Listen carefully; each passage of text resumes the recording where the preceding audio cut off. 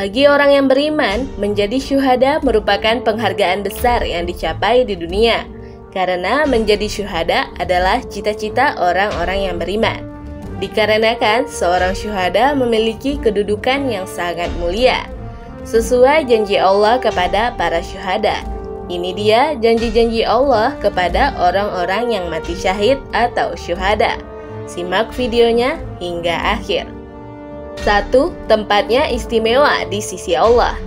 Janganlah sekali-kali kamu mengira bahwa orang-orang yang gugur di jalan Allah itu mati. Sebenarnya, mereka itu hidup dan dianugerahi rezeki di sisi Tuhannya. Al-Quran Surah Ali Imran ayat 169 Orang lain akan berpikir, orang-orang yang berjuang di jalan Allah itu mati. Padahal mereka tidak tahu, Allah telah menjanjikan kepada mereka Orang-orang yang mati syahid itu akan hidup di sisi Allah. Di mana itulah tempat yang kedudukannya paling tinggi di antara yang lainnya.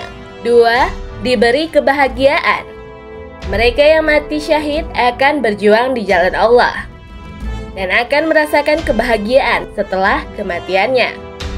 Mereka akan bergembira sebab kematian mereka lebih awal daripada orang lain sesuai pada firman Allah dalam Al-Quran Surah Ali Imran ayat 170.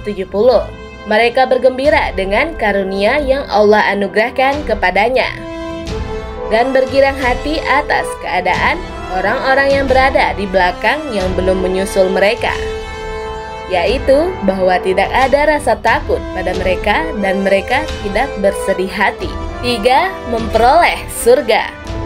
Menurut Ar-Ragib Al-Asfahani, orang yang mati syahid akan disambut oleh beberapa malaikat dan para malaikat akan mengatakan kepada para syuhada, Janganlah kamu merasa takut dan janganlah kamu bersedih hati dan bergembiralah kamu dengan memperoleh surga yang telah dijanjikan kepadamu.